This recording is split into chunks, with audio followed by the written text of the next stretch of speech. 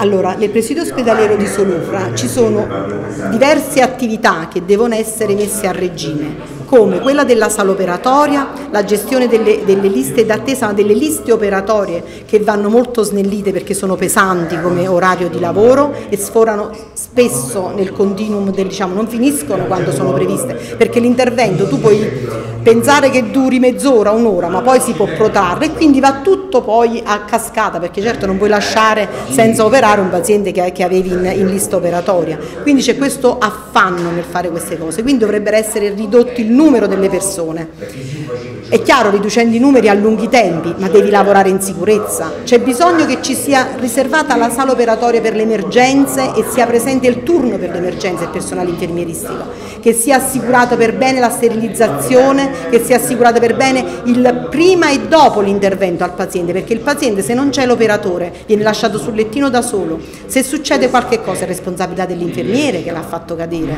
Quindi tutte queste cose che non sono prettamente l'intervento in sé per sé, sono cose che servono a far mantenere tutto l'assetto della sicurezza. E poi la cosa più importante è assicurare queste cose perché un intervento dopo che è stato fatto è stato fatto bene, non ci dobbiamo trovare un'infezione, non ci dobbiamo trovare un problema di antibiotico resistenza che spesso succede in ospedale, ci sono delle cose che un direttore di presidio, che tra l'altro è uno specialista in igiene, dovrebbe sapere e dovrebbe rettificare in corso d'opera. Tutte le procedure che esistono per legge devono essere attuate, non è che esistono delle cose che uno può fare e non può fare, esiste quello che deve essere fatto.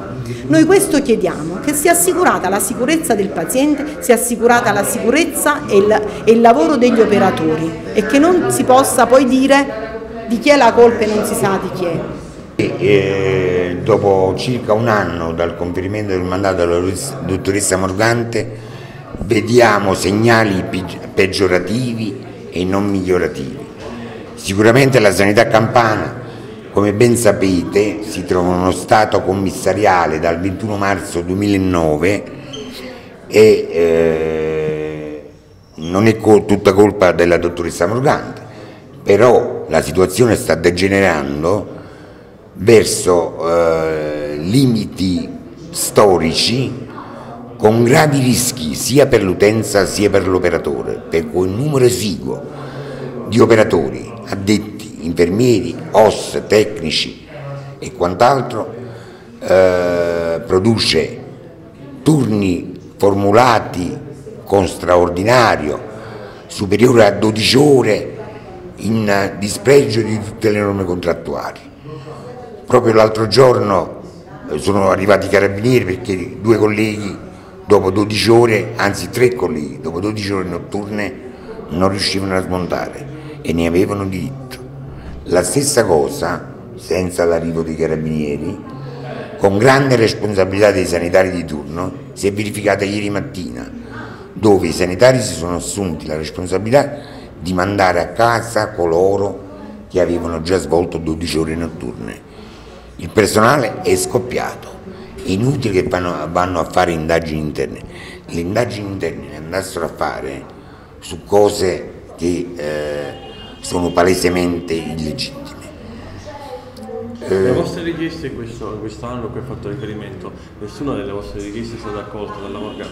No, cioè abbiamo, eh, le tematiche sarebbero tantissime da parlare.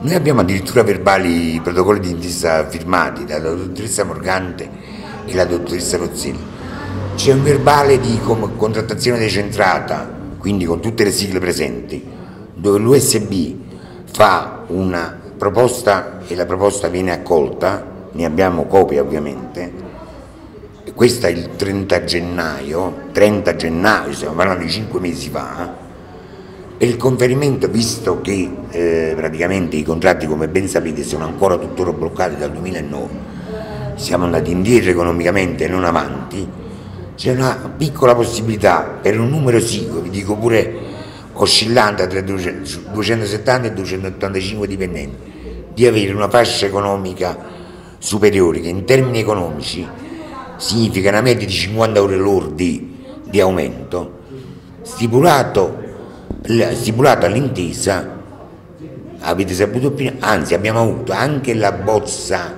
di regolamento dato che la a conferire a 280 persone, purtroppo ce ne stanno 500, 400, 500, perché non tutti, alcuni di noi siamo al massimo della carriera, non tu, eh, rimarranno fuori, quindi è una cosa che fa male allo, allo stesso sindacato, ma quei soldi fanno parte di un fondo che va utilizzato, se non la regione se li riprende. Ma voi lo farete lo stato di agitazione oppure no? Lo? Certo che lo proclameremo. Qual è l'alternativa? Io non credo che voi ci possiate suggerire l'alternativa così stante le condizioni che la collega ha ben illustrato e abbiamo ben integrato.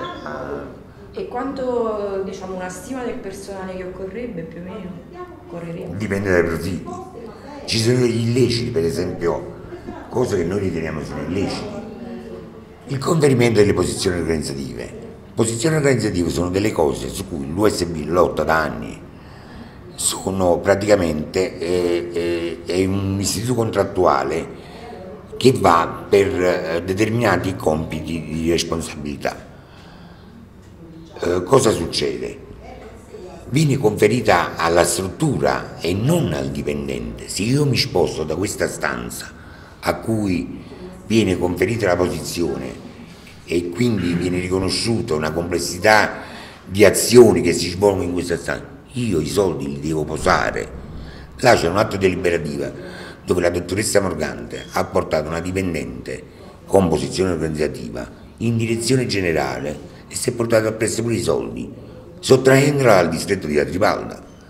Vabbè, I tecnici della prevenzione, questa è una cosa che riguarda pure voi, cioè uno di voi potrebbe avere un'attività, un'attività commerciale, ha bisogno di soprallui, va bene? Allora, o lo fa attraverso di ASL, oppure lo fa attraverso gli organi certificatori a pagamento.